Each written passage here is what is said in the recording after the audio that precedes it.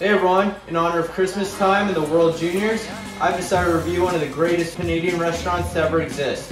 But when Beavertail's line was too long, I headed over to my local Tim Hortons, picked up every single baked good that they offer on their menu. Will Horton hear a who? Or will all this sugar lead me into a mental bake down? Watch to find out. Uh, yeah, from the land of the lost, trans-Canada cross Patriotic and I honor with my hand on my heart From the greatest of lakes, to the greenest of greens To the rockiest mountains and everything in between Oh Canada, oh you Alright, so addition to the 11 baked goods that I've picked up, I've also ordered a white hot chocolate. And of course, this video wouldn't be the same without some Timbits. Now, although donuts don't qualify as a baked good according to Tim Hortons menu, I had to pick up the Timbits for this video. This is a $30, 6,000 calorie Tim Hortons review. Let's get started with the croissants. This one is your plain butter. Um, I've gone with the cheese variety. So it's got some cheese crusted up there. Uh, we also have chocolate. The total calorie count on these bad boys is 638 calories and pretty hefty sugar amount as well with 20.5 grams. Let's try out the cheese first. Oh, that is fresh and tasty. Look at the bubbles in there. When a croissant's filled with air like that, you know it's good. Look at that croissant pull. Nice. Get in here. That's real good. Now,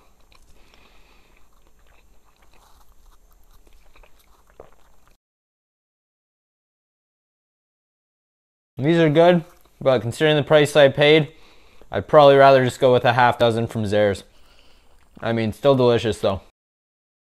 Alright, let's try the chocolate. I wouldn't be Tim Hortons takeout without a little chocolate getting stuck to the wrapper. That's what happened in this case with the chocolate croissant. Pretty much all the chocolate glaze at the top was stuck to the wrapper. That's unfortunate, but like I said, classic. Alright, rip open this croissant here. Here we go. I like how there's chocolate both on top and in the middle. It's stuffed with chocolate. Oh, that's really good. The chocolate in the middle, it's actually a little hard. It's more like chocolate chunks. Same ones they probably use in their cookies, I'd imagine. Again, fluffy, nice pastry consistency. No complaints there, but again, you may be better off get a dozen of these in a pack from Walmart. Tasty, but I mean, you may be better off just going and buying a pack from your local Walmart.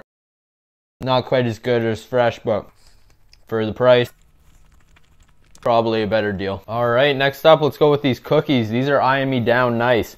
We've got peanut butter, chocolate chip, chocolate chunk, sorry, classic chocolate chunk. These weigh in at a total of 473 calories, which isn't incredible, uh, but for just a small cookie, it is substantial.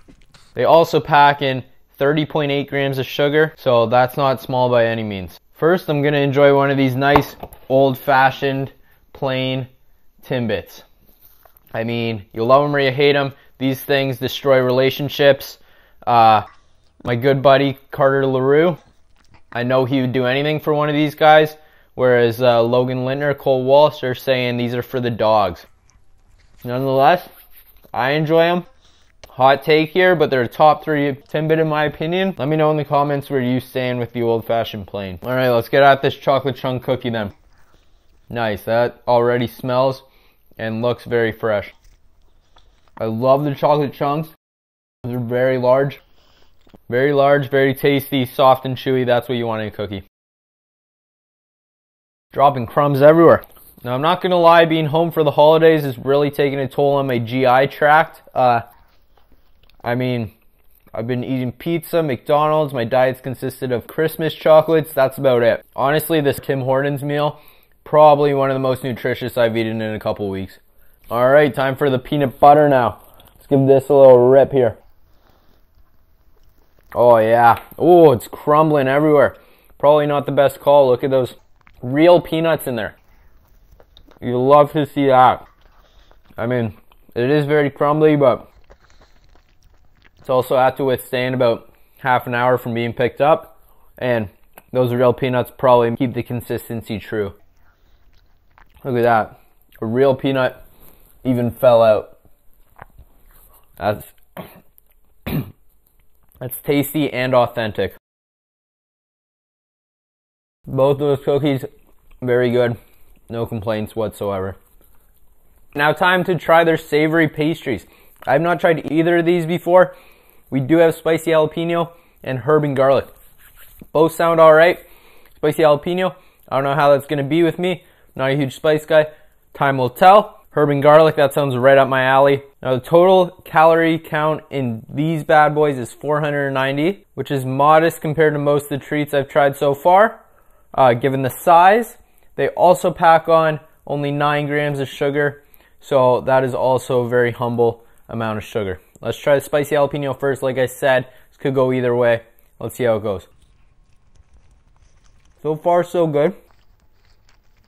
Not too bad so far. Not actually that spicy yet. However, that middle section there, that is where the spice starts to kick in. Those little bubbles there in the middle, that's where all the jalapeno bits are. That is pretty spicy. I mean, if you like spice, I could see enjoying it. It's a little much for me. Yeah, having trouble finishing this one. It is pretty spicy, not gonna lie. Gonna have to wash this down with one of my favorite Timbits of all time. The birthday cake. It's like an old fashioned glazed with sprinkles. I mean, what's better than that? Not a whole lot.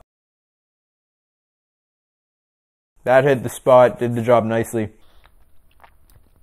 Finish off this spicy jalapeno. Alright, next up, herb and garlic. See how this guy goes down. A little bit more preference with that one. I like that one a little more. Pastry itself isn't great. Stuffing inside does make it unique, does make it tasty, but would I pay for one of these again? Probably not. Not a huge fan. 6.4 out of 10. Alright, before I get on the muffins, crush another Timbit here. Let's go with the oh, classic. One of the all-time greats. Chocolate glaze. Gotta love that let me know in the comments how many Timbits you've had in your lifetime. I'm going to set the line at 5,000. And I'm definitely hammering the over on that. Snuck a couple extra Timbits in there. Uh, there's only about 10 left, halfway through that box. We're on to the muffins. Now the total nutritional count so far is over 2,000 calories, with a whopping 140.3 grams of sugar. And that's not even including the dozen Timbits that I've already bulldozed through. Or this delicious white hot chocolate.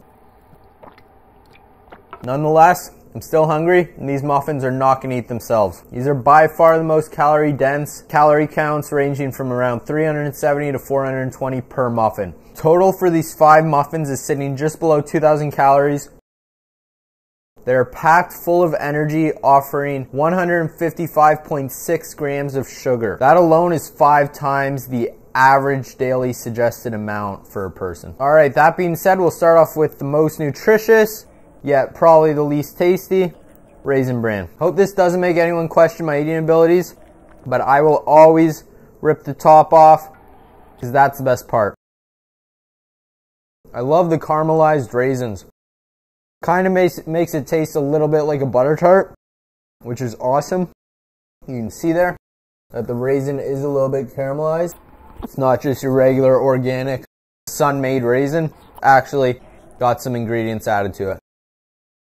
That makes this muffin better than your average raisin bran. It is worth the money. I'll give it a 8.1 out of 10, which is very generous given it's a raisin bran. Next up, we have one I haven't actually had before, wild blueberry. My mom makes the best blueberry muffins in the world. It's gonna be tough to beat that, but let's see how these ones do. Honestly, the blueberries don't taste that fresh. It's still a good muffin, but nothing special about this one. I'm gonna give this one a 7.8 out of 10. Blueberry muffin, it's still good. Could give it a hard 8, but gonna give it a soft 7.8 there. Not bad, but in a 7 game series, homemade takes these in 5. Alright, let's mix in one of these toasted coconut Timbits. I do like that. I am a fan of that. Shredded coconut on the outside. Again, it's like an old fashioned glaze. Good Timbit. Go with the fruit explosion now. From what I can remember, these are one of my favorites. They are very tasty. Um, so let's give that a go. Immediately when you open it up, look at that. Jam packed. That is awesome. And it's tasty. I have never met someone who doesn't like jam. Yeah, that's really tasty. The fruit on the inside. Again, it's not super fresh, similar to the blueberry one, but jelly on the inside makes it. And I do like the variety of berries it offers. Makes me feel a little bit healthy. Oh my goodness, I'm making a mess on my floor. Clean that up after. Finish this guy off now. Peanut butter on top of this.